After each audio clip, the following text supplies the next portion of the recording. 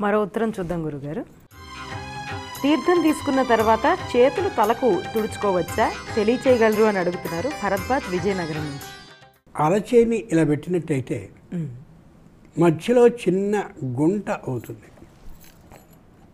మాష మాత్రం జలం పిబేత్. ఆవు చెవిలా కనిపించేటటువంటి ఈ అరచేతిని మధ్యలో ఉండేటటువంటి గుంటలో మినపగుం గింజ మిలుగేంతటి నీరు మాత్రం పడుతుంది. ఆ పట్టినటువంటి ఆ నీటిని ఇలా మనం మామూలుగా ఆ పోషణ పట్టినప్పుడు ఈ పెదవులు మనవి ఈ భాగానికి అంటే ఈ చేతి యొక్క కింది భాగానికి తగులుతాయి. అప్పుడు ఏమవుతుంది అంటే అది ఎంగిలవుతుంది. ఎంగిలైనటువంటి చేతిని నీటితో మళ్ళీ శుభ్రం చేసుకుని పక్కనే ఉపవస్త్రం అంటే ఒక జేబురుమాలో నాప్కిన్నో మరోటో పెట్టుకుని దానికి తుడుచుకోవాలని శాస్త్రం చెప్పింది.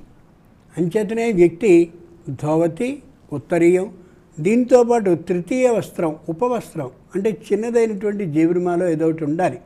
ఎందుకంటే ఈ హస్తాన్ని కడుక్కున్న తర్వాత దాన్ని తుడుచుకోవడానికి.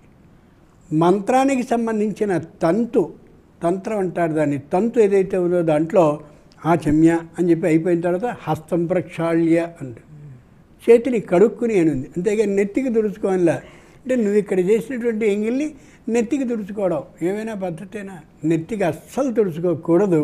హస్తం ప్రక్షాళి అని ఉంది కాబట్టి ఇలా చక్కగా ఉద్ధరిని జలం పోసుకుని ఇలా పైనుంచి ఇలా పోసుకుని ఆ కడిగినటువంటి చేతిని ఇలా తుడుచుకోవాలి. పైనుంచి పోసుకోవాలి ఇటు నుంచి కాదు. ఎందుకంటే ఇక్కడ ఎంగిలైంది కాబట్టి ఆ పైనుంచి ఇలా నీళ్ళు పోసుకుని ఈ వృత్తిగా తుడుచుకోవడం అనేది అది సరైనటువంటి విధానం తప్ప నెత్తికి ఎంగిల్ని అంటించుకోవడం ఏమాత్రము సరైనటువంటి పని కానీ కాదు.